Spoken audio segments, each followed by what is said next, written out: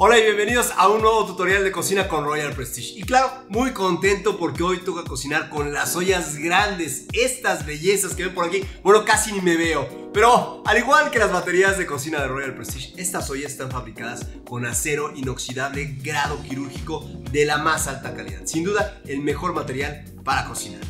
Estas ollas te permiten cocinar grandes cantidades de tus comidas favoritas como pozole, birria, menudo, tamales, en fin, todo eso que nos encanta compartir con la familia y los amigos. Además, tienes cuatro posibilidades para elegir. Fíjate nada más los tamaños: 12, 20, 30 y 60 cuartos. Así que ahora la comida va a alcanzar para todos. Hasta los colados se van a apuntar. Hoy te voy a mostrar tres recetas muy sabrosas y que puedes preparar fácilmente en casa con estas grandes ollas de Royal Prestige. Vamos con la primera.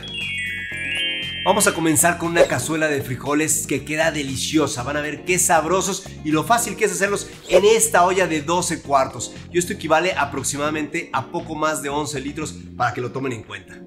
Y lo primero que vamos a hacer es precalentar la olla a temperatura media por un par de minutos. Esto yo ya lo hice para ganar un poquitín de tiempo. Y aquí vamos a agregar tres ingredientes de inicio. En este caso, el chorizo. Chorizo maduro, chorizo español, en rodajas Posteriormente también la costilla de cerdo cargada, esta que tiene hueso, un tanto de grasa y carne. Me encanta el sabor que aporta y la combinación de todos los ingredientes. Y ese sonido me fascina. Y ahora el tocino. Los aromas que se empiezan a desprender son realmente ricos. Y ahí están los ingredientes ya sellándose. Lo vamos a dejar cocinar aproximadamente un par de minutos, tres minutos que la carne comience a sellarse, el tocino igual y el chorizo comience a sacar esa grasita que tiene.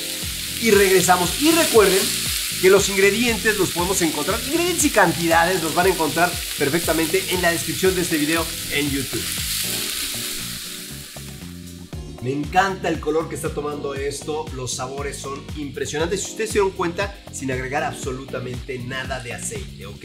Aprovechando la grasa de los propios alimentos. Ahora voy a continuar añadiendo la cebolla finamente picada y el ajo. Y voy a permitir que estos dos grandes aliados de la cocina comiencen a citronarse. Continúo agregando los frijoles. Bueno, ya está acitronada la cebolla y el ajo soltando ese aroma tan especial que tienen. Tono translúcido y es momento de agregar los frijoles. Frijoles bayos. Que les platico previamente, ya estuvieron en remojo, es decir, con agua. Durante aproximadamente unas 6 horas esto va a reblandecerlos y nos ayudará a la cocción, además de que nos ayuda a que no resulten indigestos. A esto le voy a agregar el agua comenzar entonces la cocción de esta cazuela de frijoles. Ahí está, toda la agua. Y posteriormente voy a agregar aromas. Rico de pasote va para adentro, cilantro también, una buena dosis de estas hierbas. Y vamos a agregar sal, cuidado porque ya tenemos ingredientes como el tocino y el chorizo que son productos curados. Y un tanto de pimienta. A tapar con la válvula abierta Voy a mover un momento, no se involucren los sabores, se combinen. Ahí está.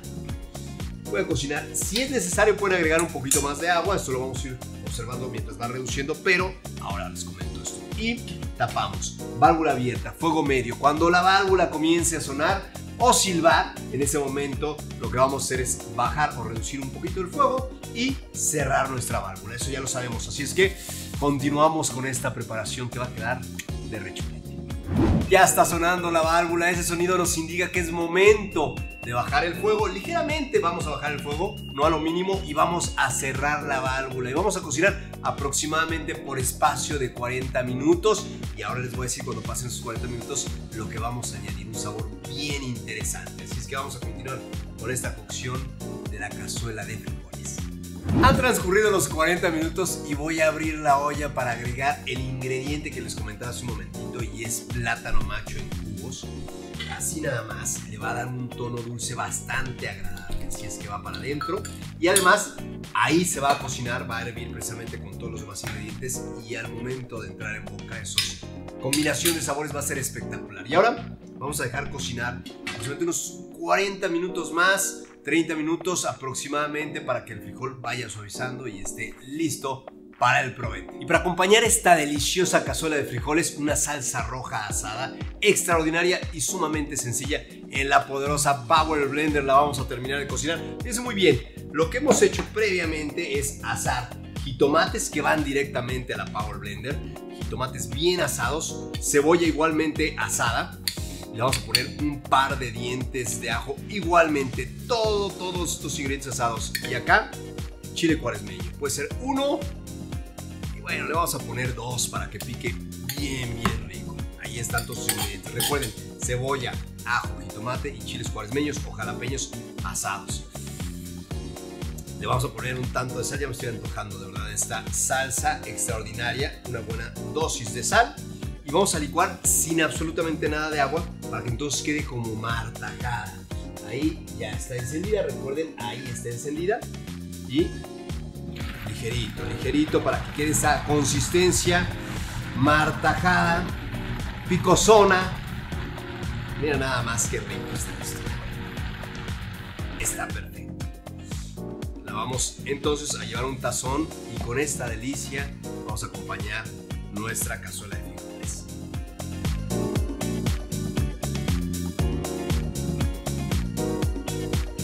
Ya está esta salsa deliciosa, picosona, rico como me gusta. Y ya se cumplió el tiempo de cocción de la cazuela de frijoles. Recuerda que una vez que cerramos la válvula, cocinamos por 40 minutos. En ese momento agregamos el plátano macho y posteriormente cocinamos otros 40 minutos aproximadamente hasta que los frijoles estén suavecitos y toda la preparación esté bien, bien, bien cocinada. Ahora vamos a destaparlos para presumirles cómo quedó.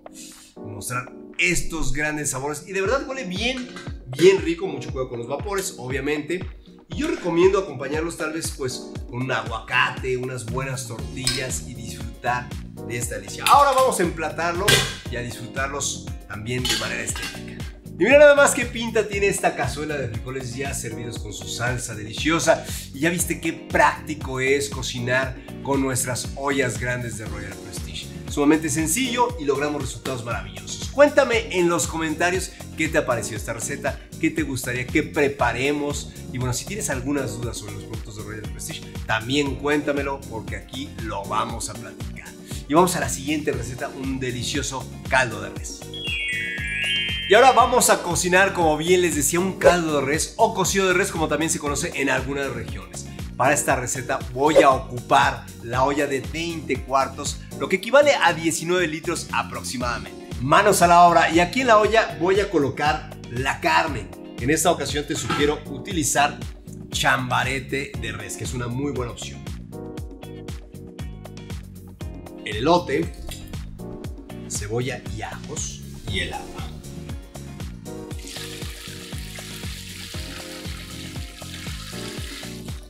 Una buena dosis de sal y tapamos. Vamos a cocinar a fuego medio hasta que comience a sonar la válvula. Esto es muy importante. Y recuerda que la lista de ingredientes, cantidades y todos los detalles están en la descripción de este video en YouTube. Ahí estamos escuchando ya la válvula que está silbando o sonando y esto es señal para bajar entonces un tanto la temperatura y cerrar precisamente la válvula de esta manera. Y con esto pues nos permite ahorrar gas o energía eléctrica, lo que sin duda es una gran ventaja de estas ollas de Royal Prestige. Vamos a cocinar aproximadamente por espacio de una hora con 10 minutos para que la carne se vaya cocinando perfectamente bien y vaya reblandeciendo.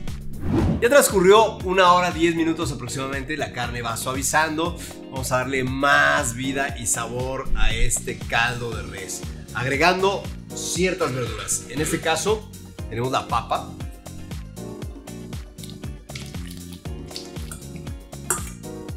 Zanahoria. Y vamos a agregar chiles cuaresmeños, hierbabuena y cilantro para darle mucho sabor. Tapamos nuestro caldo de res y cocinamos aproximadamente unos 10-15 minutos para agregar los últimos ingredientes de este cocido de res. Ya pasaron los 10 minutos y es momento de agregar el último toque. En este caso, ejotes. calabaza.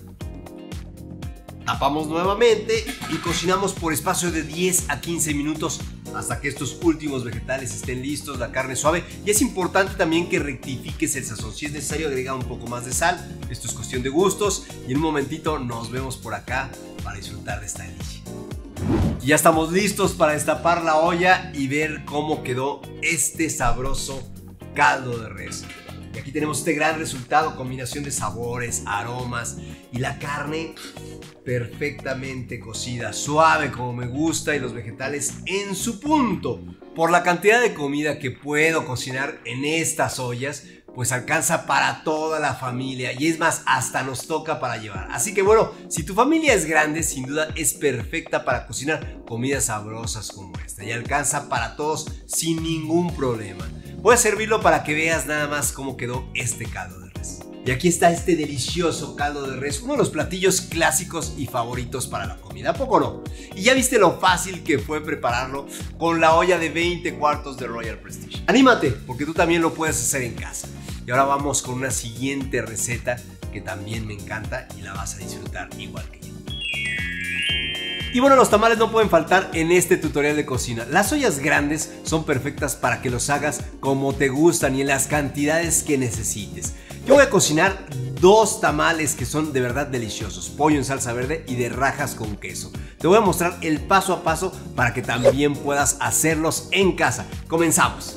Manos a la obra. Primero vamos a comenzar batiendo las mantecas en un tazón como este de 5 cuartos de Royal Prestige que me encanta. Mantecas mencioné, así es que va para adentro manteca vegetal y me apoyo de mis espátulas silicona también de Royal Prestige y la manteca de cerdo. Esta combinación va a generar tamales esponjosos, suavecitos, como todos nos gustan. Entonces, que no se quede nada en los tazones, por eso es que me encanta todo mi equipo de Royal Prestige. Vamos a recoger todo esto y una vez que ya está listo, entonces vamos a comenzar a batir perfectamente bien estas dos mantecas hasta que vayan esponjando y blanqueando. Eso es bien importante. Pero les recuerdo que la lista de ingredientes con las cantidades ahí, detalles de toda la receta, la van a encontrar en la descripción de este video en YouTube. Y bueno, ya después del cardio que nos hemos reventado con este par de mantecas en nuestro tazón, miren nada más, quiero mostrarles la consistencia. Esto es bien importante, que haya blanqueado y haya esponjado para que así tengamos tamales perfectos, esponjosos y suaves. ¿Ok? Así que vamos a continuar con la harina de los tamales. Fíjense muy bien, ya está la harina de los tamales fresca, como debe ser, y le vamos a agregar el polvo de hornear, que nos va a ayudar obviamente también para que sean esponjosos, y una buena cantidad de sal. Así. Es importante añadir buena cantidad de sal porque los tamales ya después no van a hervir. Y si no están bien sazonados, digamos, pueden quedar insípidos. Entonces hay que checar muy bien esto y de preferencia probar un momentito más la mezcla. Bueno, entonces ya tenemos mantecas listas, blanqueadas y esponjadas. Y por aquí tenemos la harina de tamales, ya la que agregamos polvo de hornear y la sal. Vamos a comenzar a mezclar estas dos preparaciones, añadiendo un tanto de la harina. Así lo van a empezar a hacer poco a poco. Van a empezar a incorporar la harina de los tamales a las mantecas. Y vamos incorporando. Lo podemos hacer con el globo o bien me voy a ir por la paleta, por nuestra pala esta que está por acá. Y nada más es cuestión de incorporar y mezclar estos dos. La mezcla evidentemente va a comenzar a causar resistencia por los polvos que estamos agregando. Y entonces vamos a incorporar o verter caldo de pollo, que ya debe estar frío, eso es bien importante. Entonces vamos mezclando de esta manera y vamos intercalando el caldo de pollo. Tiene que, pues tenemos que llegar a un resultado de una masa ligeramente suave y ahorita les voy a mostrar cómo queda. Miren, aquí es como les comentaba, ya se empieza a sentir la mezcla un poquito más pesada y entonces es momento de ir agregando el caldo poco a poco. Un poco y volvemos a mezclar. Y así sucesivamente hasta terminar con toda la harina de tamales. Y nada más, una vez que hemos terminado ya de colocar toda la harina de tamales y, e intercalando con el caldo de pollo, esta es la consistencia que tiene que resultar así, manejable, untable digamos, ¿ok? Así es que vamos a comenzar a armar nuestros tamales. Ahora sí vamos a darle vida a estos tamales que tengo para todos ustedes. Ya la masa, recordemos, está lista. Y entonces es importantísimo, evidentemente, tener nuestras hojas. Le llamamos totomosle cuando están las hojas secas de maíz. Eh, es importante lavarlas y posteriormente hidratarlas. ¿Qué quiere decir esto? Los vamos a dejar remojando en agua fría o si tienes un poquitín de prisa o quieres acelerar el proceso, agua caliente durante unos 30 minutos para que se vuelvan manejables. Y una vez que las tengas listas, escurres perfectamente bien y vamos entonces a armar el primer tamal. Vamos a elegir hojas grandes como esta que tengo por aquí y normalmente colocamos dos, ¿no? Vamos a colocar dos de esta manera, traslapando las hojas para hacer mucho más grande el hueco y sea mucho más fácil enrollar. Entonces ponemos una cucharada de nuestra preparación de tamales, dos buenas cucharadas y vamos a formar una especie de hueco en el centro para que ahí caiga nuestro relleno. Este que tengo por acá es de pollo en salsa verde. La verdad es que las variantes son infinitas con respecto a los tamales. ¿Ok? En este caso para esta masa son rellenos salados y una buena porción. O bien, y ahorita vamos a hacer otro de rajas, elote y queso. Y entonces, esto es bien importante, ya que tienes tu masa de esta manera, vas a empezar, aprietas ligeramente y vas a empezar a enrollar. Esto es bien, bien importante para que queden em, bien apretaditos y no queden bofos. Ahora, una vez que ya está la mezcla, es importante que bajes para que queden bien apretaditos y cerramos en donde está precisamente la, la abertura de las hojas. Entonces, doblamos y ahí tenemos nuestro primer tamal listo. Voy a armar otro más. Vamos a armar otro más porque somos muchos y tenemos nuestra olla de 30 cuartos esperando precisamente estos tamales. Fíjense nada más. Igualmente, colocamos dos hojas, mismo ejercicio, pero ahora voy a hacer el de rajas con elote y queso. Dos cucharadas. Esto es importante también, la cantidad, que siempre sean uniformes para que la cocción no tenga ninguna variante. Armamos nuestro hueco Posteriormente entonces colocamos nuestras rajas con queso, rajas de chile poblano que ya está limpio el chile poblano. Evidentemente hemos retirado la piel asándolos, dejándolos sudar y entonces retiramos la piel. Una vez que hemos retirado la piel, en rajas y se saltea con cebolla, granos de lote y bueno, voy a colocar no una, dos bastones de queso manchego. Y aquí entonces vamos a empezar mismo asunto. Damos la vuelta están bien, bien llenitos, bien gorditos, pero está bien porque son para nosotros. Y entonces enrollamos. Misma idea. Bien, bien enrolladitos, siempre sacando toda la hoja y una vez que están enrollados, recuerden ustedes cerrar nuestros tamales. Ahí está. Ya queda bien apretadito y entonces doblamos de esta manera. Ya tenemos dos tamales. Y hay que separarlos para distinguir cuál es cuál, ¿no? De los sabores que tenemos por acá. Así es como va a ir resultando todos los tamales. Me voy a quedar haciendo una buena tanda para colocarlos en mi olla de 30 cuartos de Royal Prestige. Ya tengo aquí todo este arsenal de tamales listos para ponerlos a cocinar y vamos a utilizar en esta ocasión la olla de 30 cuartos que equivale aproximadamente a 28 litros, ¿ok? Con esta parrilla que tengo aquí dentro ya de acero inoxidable en el fondo y un tanto de agua. Aquí vamos a acomodar todos estos tamales de la siguiente manera.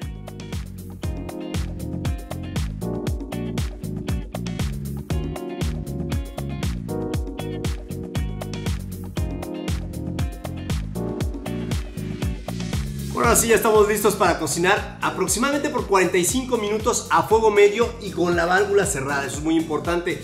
Y un momento más te voy a mostrar esta delicia de tamales que tengo para ti. Pues tic tac toc, ya pasaron los 45 minutos y vamos a apagar la estufa para poder disfrutar de estos tamales. Y el aroma de verdad, cuando abro la olla me atrapa, es singular. Qué rico huelen los tamales. Ahora tengan mucho cuidado con el vapor, ¿eh? porque se quema de buena forma. Así es que vamos a comprobar que ya están. ¿Cuál es la forma idónea o correcta? Vamos a tomar uno, siempre importante, con mucho cuidado no se vayan a quemar. Y como puedes saber que ya están listos, es solamente cuando la hoja se separa fácilmente. Nada más cuidado que están bien calientitos. Y ahí miren nada más, viene la magia de los... Miren nada más, esto es lo que te... Mira nada más, qué rico. Así se tienen que separar los tamales. Y ahora sí, vamos a disfrutarlos, pero bien servidos como se merecen estos tamales.